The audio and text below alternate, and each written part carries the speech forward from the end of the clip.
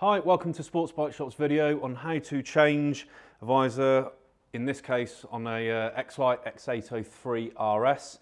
Now this visor system is used on a couple of different uh, models through the X-Lite range.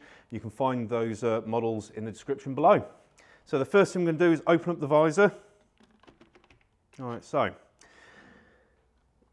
this X-Lite logo is actually a button and that's going to release the visor. So you're going to push the button in, then we're just going to slide the visor forward and then lift it out. Like so, in, slide it forward. There we go, that's that side of the visor out. Spin the helmet around, we'll do the same on this side. Again, just this button, visor away from the helmet. And that's the visor off. So if I show you the inside of the visor, you can see that these lugs here are actually like an L, and that's why we need to slide the, the visor forward. If you try and pull it straight out, you're going to snap these and it's going to end up costing you a new visor. So make sure you, you slide it away from the helmet rather than just lifting it away from the helmet.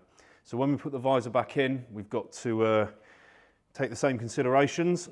So we will locate everything in an open visor, visor position.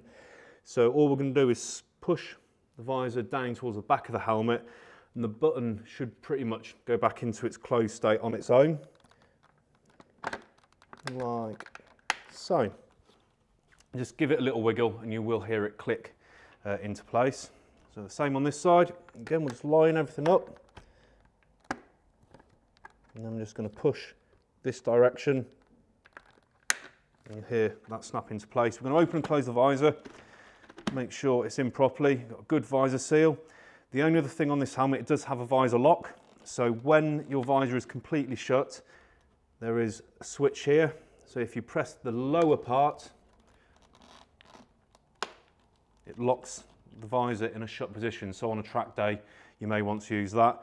Now, if you wrench the visor up, it will release itself, but obviously you don't want to risk uh, breaking it. So just make sure you release that lock before you uh, go ahead and operate the visor again.